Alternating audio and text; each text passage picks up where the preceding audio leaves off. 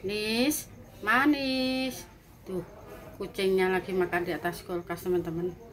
Ih, keringetku gerah sekali ya sekarang ya. Manis. Ih, lahapnya. Minta, Nis.